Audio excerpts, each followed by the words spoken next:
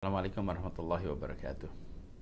Untuk warga Jogja yang saya hormati, insya Allah bila tidak ada halangan, kita bisa silaturahmi bersama pada tanggal 16 November tahun 2022 di Grand Pacific Hall Jogja, insya Allah pada pukul 12 siang. Insya Allah kita bisa sama-sama berjumpa, berdiskusi bersama, berinteraksi. Salam hangat untuk semuanya. Terima kasih. Assalamualaikum warahmatullahi wabarakatuh.